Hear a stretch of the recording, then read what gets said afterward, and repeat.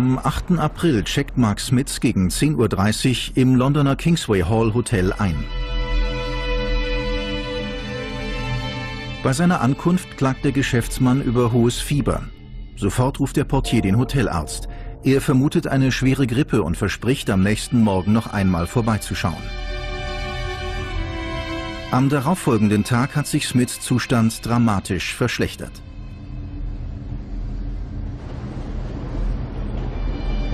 Um 11.30 Uhr wird er ins Mary's Hospital in der Nähe des Bahnhofs Paddington eingeliefert.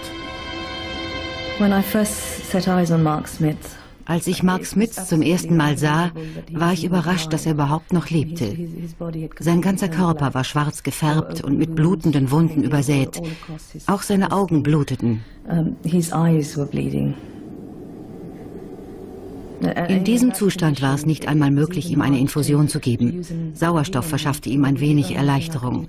Mehr konnte ich nicht für ihn tun. Zum Schutz der Öffentlichkeit mussten wir eingreifen. Seine Symptome ähnelten denen des Ebola oder des Marburg-Fiebers, hoch ansteckenden tödlichen hämorrhagischen Infektionskrankheiten.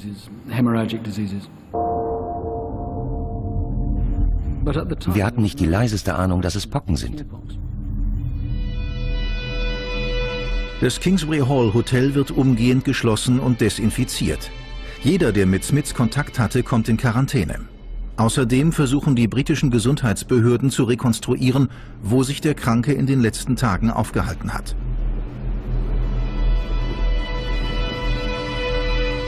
Die Spur führt nach New York, Smiths Heimatstadt. Vier Männer des Gesundheitsamtes klopften an meine Tür.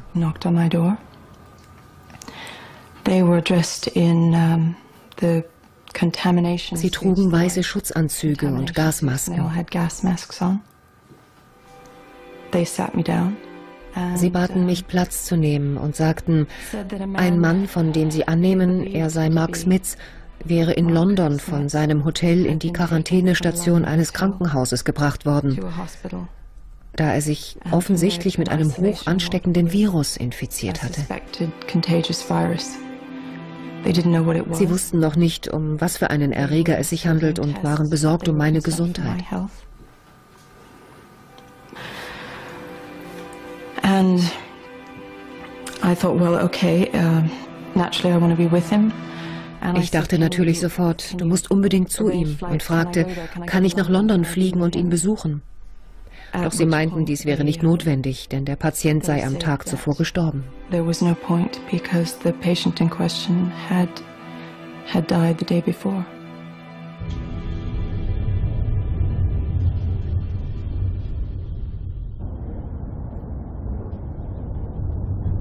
In London hat man immer noch nicht herausgefunden, woran Mark Smith gestorben ist. Bis spät in die Nacht überlegten wir, was wir noch unternehmen könnten, um die Person zu finden, die Mark Smith auf der Fahrt vom Flughafen bis zum Hotel möglicherweise mit dem Ebola-Virus infiziert hatte. Während wir zusammensaßen, lief im Fernsehen ein CNN-Bericht aus New York. Es ging um eine mögliche Pockeninfektion in der Stadt, aber offen gestanden brachte ich das nicht mit unserem Patienten in Verbindung. In dem Moment erinnerte ich mich an die schrecklichen Geschichten, die mir mein Vater über Indien erzählt hatte. Als er noch ein Junge war, hatte er erlebt, wie Menschen während einer Pockenepidemie an den sogenannten schwarzen Pocken starben. Es ist dieselbe Krankheit, aber bei drei Prozent der Infizierten gibt es diese hämorrhagische Variante, bei der die Haut geschwollen ist und sich schwarz färbt. Das Opfer stirbt unweigerlich an inneren Blutungen. Nun mussten wir in ganz anderen Dimensionen denken. Denn Ebola überträgt sich nur durch direkten Körperkontakt, die Pocken hauptsächlich über die Atemwege.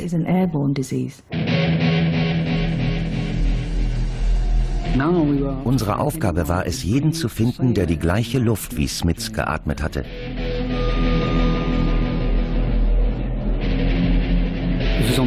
Leider war er, während er das Flugzeug verließ, sein Gepäck abholte, durch den Zoll marschierte, mit dem Zug zum Bahnhof Paddington fuhr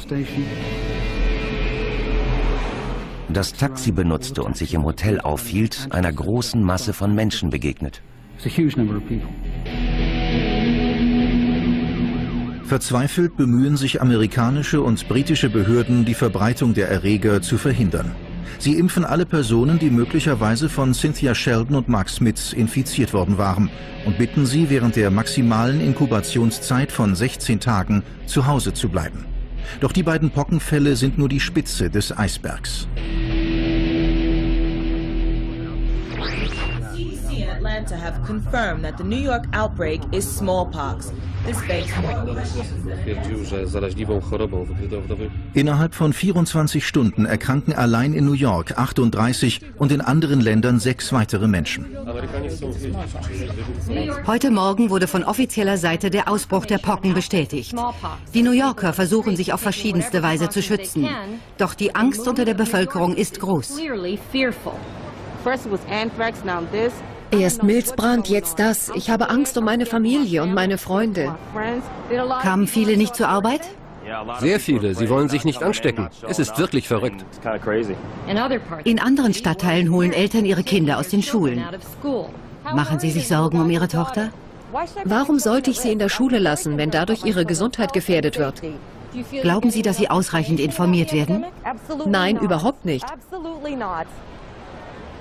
Tausende verängstigte und verunsicherte New Yorker lassen sich in den Krankenhäusern untersuchen. Uh,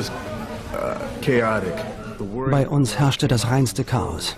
In Scharen kamen die Leute in die Notaufnahme. Die meisten von ihnen waren zwar nur erkältet und hatten nicht die Pocken, aber das konnte man nur schwer unterscheiden. Und wenn wir eine Pockeninfektion zu erkennen glaubten, standen wir vor dem Problem, wohin mit den Patienten? Denn unsere Isolierstationen waren innerhalb kurzer Zeit überfüllt. Fatal war auch, dass uns nur ein begrenztes Kontingent an Impfstoff zur Verfügung stand.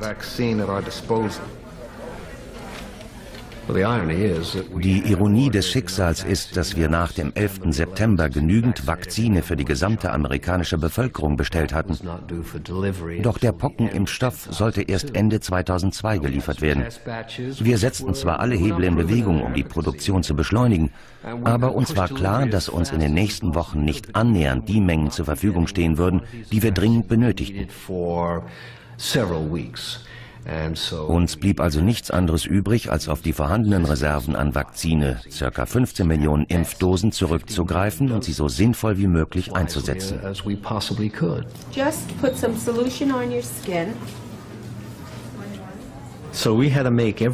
Jede Dosis musste optimal genutzt werden. Deshalb konzentrierten wir uns auf diejenigen, die am meisten gefährdet waren. Krankenhauspersonal, Rettungskräfte und Personen, die sich aller Wahrscheinlichkeit nach angesteckt hatten.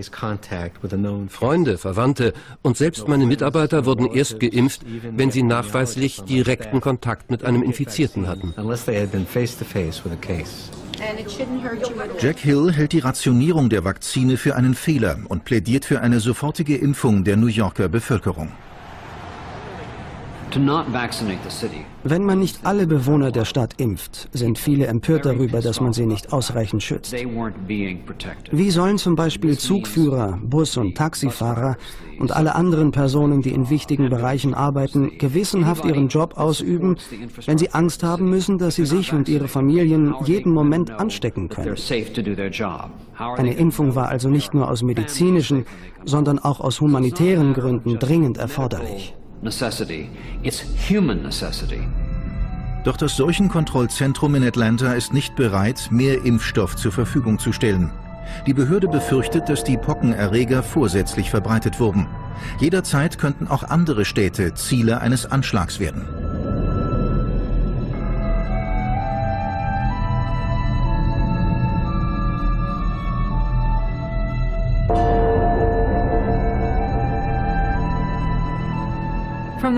Bereits in dem Augenblick, als uns Jack Hill anrief, dachte ich an Terroristen. Und nachdem klar war, dass sich in keinem Labor ein Unfall ereignet hatte, gab es für mich keinen Zweifel mehr. Auf die Stadt war ein Anschlag verübt worden. My fellow Americans. Verehrte Amerikanerinnen und Amerikaner, wir müssen annehmen, dass der Ausbruch der Pocken in New York einen Angriff auf unser Land darstellt. Die Regierung wird alles tun, um die Epidemie zu bekämpfen. Und wir werden nicht eher ruhen, bis wir die Verantwortlichen für dieses schändliche Verbrechen und ihre Helfershelfer gefunden und zur Rechenschaft gezogen haben. Gott schütze Amerika. God bless America. Natürlich denkt man zunächst an den Nahen Osten. Wir müssen davon ausgehen, dass mehrere arabische Terrororganisationen Zugang zu Biowaffen haben. Uh, Daher lag der Schluss nahe, dass der Anschlag eine weitere Eskalation im Krieg mit unseren bekannten Feinden war.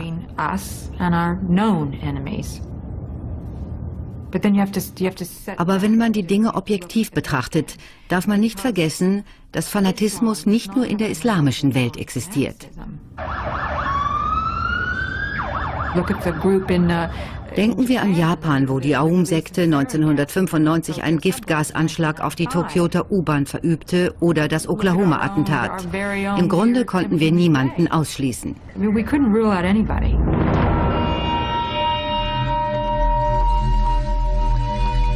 Drei Tage nach dem ersten Pockenfall gibt es immer noch keinen Hinweis auf die Täter und ihre Motive. Die Öffentlichkeit drängte auf eine Aufklärung des Falls. Alle wollten schnelle Antworten. Doch bei der Untersuchung des Verbrechens sahen wir uns mit enormen Schwierigkeiten konfrontiert. Ich kann Ihnen zu diesem Zeitpunkt nur so viel sagen, dass umfangreiche Ermittlungen durchgeführt werden. Sobald erste Erkenntnisse vorliegen, werden wir diese mitteilen. Danke. Niemand hatte sich zu der Tat bekannt.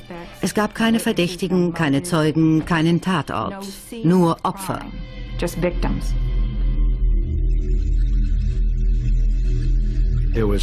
Uns war nicht klar, wie die einzelnen Fälle zusammenhingen. Die Infizierten wohnten verstreut in der ganzen Stadt, übten verschiedene Berufe aus und waren unterschiedlich alt. Die normalen epidemiologischen Raster halfen uns nicht weiter.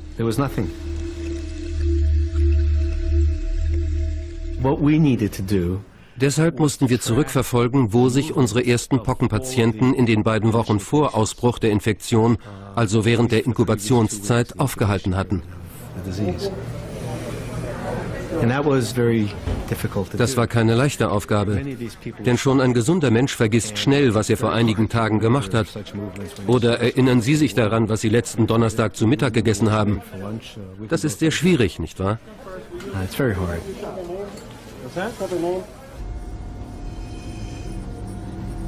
Am vierten Tag nach Ausbruch der Epidemie stoßen die Ermittler auf eine erste Spur. Dem Seuchenkontrollzentrum ist es gelungen, den Pockenstamm zu identifizieren. Seine Bezeichnung lautet Indien 1. Das bewies, dass das Virus aus einem russischen Biowaffenlabor stammte und irgendwie in die Hände von Terroristen gelangt war.